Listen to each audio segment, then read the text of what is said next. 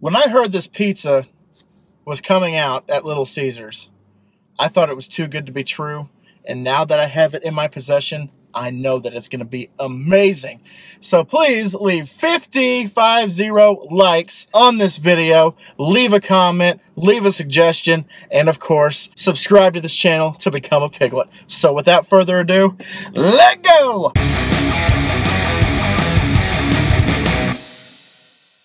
What's going on, my little piglets? It's your BFF Pork Chop here, and I'm coming at you with another food review. Today's food review, I am here at Little Caesars to give the Smokehouse Pizza a shot. What all's on it is brisket, pulled pork, applewood smoked bacon, barbecue sauce, and a Smokehouse seasoned crust. Don't know what that is, but I'm excited to figure it out. So here it is, hot and ready. This bad boy can be yours for $9. Let's open it up, see what we got working here. Oh my gosh. Oh my gosh. I'm gonna go ahead and get a slice. They just pulled this out of the oven, so this thing's gonna burn my flesh. Yeah, that thing is on fire. That's what a slice looks like. Look at that, amazing. I Almost had the cheese just melt to my steering wheel just now. It smells awesome. I used to work at a barbecue joint, and that's exactly what a barbecue joint is supposed to smell like. The thing that I see on top is the brisket.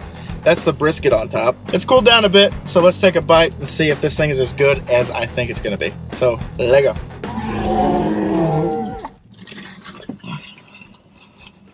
Very chewy, but it tastes extraordinarily good. The one complaint that I have of this so far is the fact that there's not enough barbecue sauce on it. It should be dripping with barbecue sauce because I think what they do is they just go around it I don't think they just like slather it. Maybe the tip of it doesn't have as much sauce as I thought it did.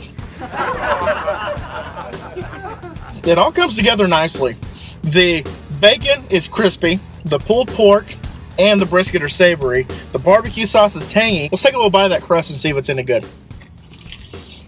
Okay, I can tell that they put a little seasoning on that crust, and that actually tastes pretty good. Overall, this is a great pizza. Little Caesars, once again, coming up to bat and just knocking a grand slam out of the park. One thing I like about it, one thing I don't like about it, and then my rating. So one thing I like about this is barbecue sauce mixed with all the meats. It is overall just a great flavor, a great taste. And one thing I don't like about it is I think it could use more barbecue sauce. Again, that could just be the way that they made it. I'm sure that there are some people that make it and the barbecue sauce just drips out of every single pore of their body. What is your rating for the Smokehouse Pizza at Little Caesars? Let me know down below because on a scale of 1 to 10 piglets, I'm going to have to give this pizza. This is going to get a 9 out of 10. It would have been a Pork Chops Kit Kat seal of approval if they had more barbecue sauce, but that is not the case. I'm going to eat this off camera as well as distribute it to some people, like my grandmother or whoever wants to try this, because this is overall a damn good pizza. And guys, thank y'all so much once again for dropping by. Be sure to leave those 50 likes and also give me recommendations where you want to see me eat. And as always, my little piglets, Kollin Pork Chop loves y'all the most. As y'all take it easy, guys, and I will see y'all next time. Bye, guys! I almost burped. Did it anyway.